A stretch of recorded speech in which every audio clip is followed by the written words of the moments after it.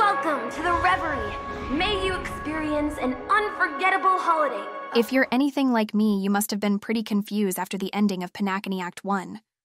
Although I am still unsure about everything, in this video, I want to share with you all the conclusion and theories that I came to regarding the fate of our beloved Firefly. To better understand the fate of our little princess, we do need to do a quick recap to acquire certain information. After chatting with the crew about our next destination, we went back to our seat as the express was about to make the jump for Penacony. We suddenly woke up in a strange place. Next to us is a strange woman who informed us we are in the border between reality and the memory zone, a dreamscape. You can think of dreamscapes like a reality marble or a pocket dimension. When a person is teleported to these dreamscape, their physical body remain wherever they were back in the real world. As seen with Stella or Caelus, you don't necessarily need any special device to access a dreamscape. Just the right amount of memoria as we were able to enter our first dreamscape from our sit in the Express. The information we got from Acheron is crucial, as it tells us we will be dealing with at least three different level of realities. The real world, represented by the Reverie Hotel, the Penacony's dreamscape, and the memory zone, the border between. All right, with that out of the way, we can fast forward to where we finally meet Best Girl Firefly. Sorry for bothering you. Please, I need your help. After meeting Firefly, she takes us in a tour of the Golden Hour located in Penacony's dreamscape, got into some shenanigans with Sampo, and finally some emotional damage atop the rooftop at her secret base. This scene is extremely important to figuring out the fate of our wifey, as she says the following Entropy loss syndrome. Have you heard of this term? It's a s- strange condition. Those suffering from it will experience an irreversible chronic dissociation of their physical structure. This means they will slowly fade away, and the process is barely noticeable to others. You can still run, jump, and talk as usual. Everything seems normal. But then you'll start doing everything slightly slower than others. And then even slower than that.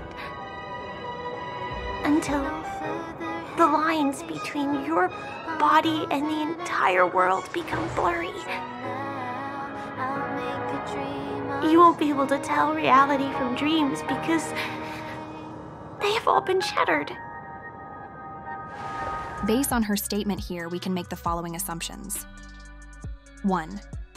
The real Firefly is likely encased in some kind of medical device that helps slow the toe of the entropy loss syndrome on her body. 2.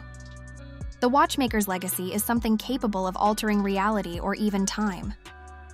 With that kind of power, she could extend her life or turn back time to a point in time before her home was destroyed if saving it is her real goal. After taking a adorable photo with her, we are summoned by Himeko and Welt. So we decided to call it a day in order to go meet up with them. Firefly agrees to part ways for now as she wants to go back to reality to rest. A strange thing to say if you take into consideration we are already sleeping as we are in a shared dream. But if you take her condition into consideration, it makes perfect sense.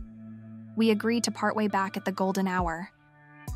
When we make it to the hotel lobby, Stella makes this remark. Come to think of it, I wonder if I have to go to the hotel to return to reality. And if you guys remember our first encounter with Acheron, we can all assume the answer to this question is no.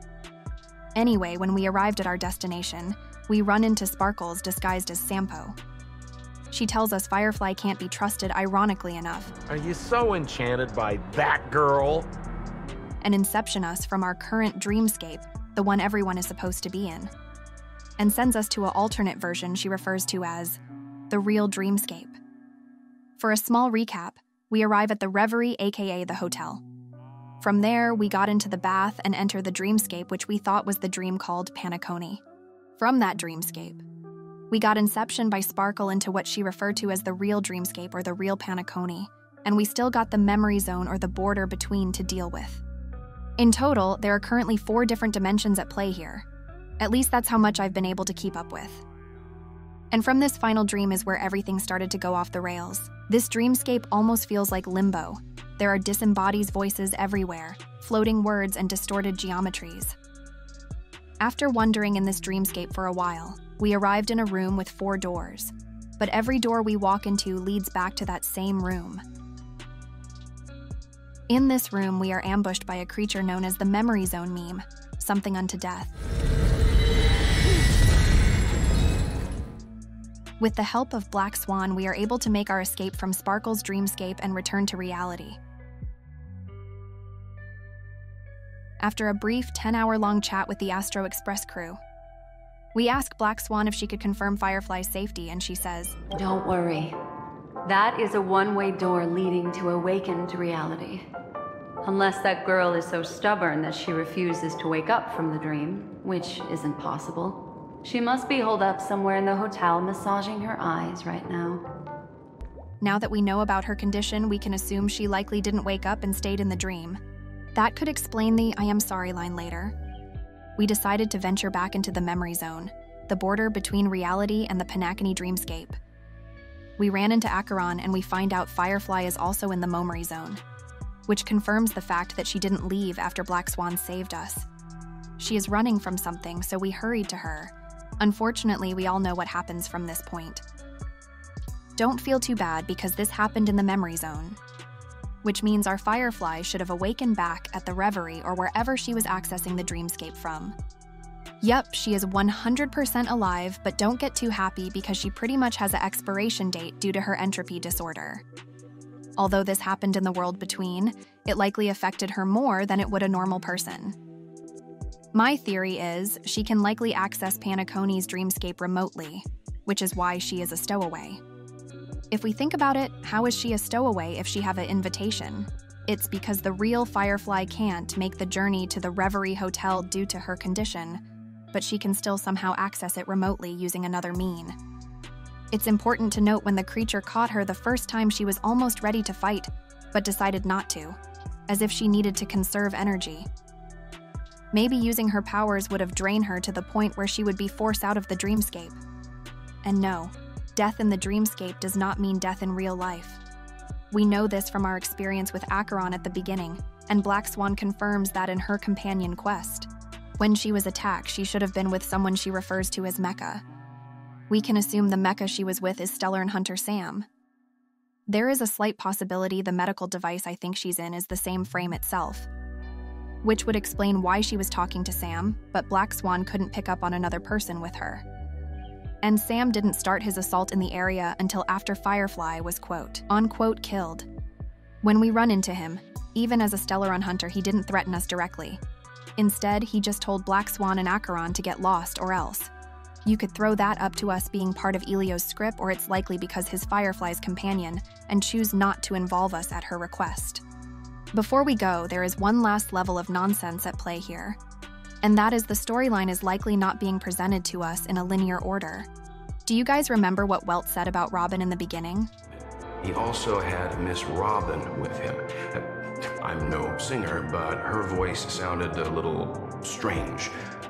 Knowing what we know now, we can assume we just got Tingyun'd and we never met the real Robin.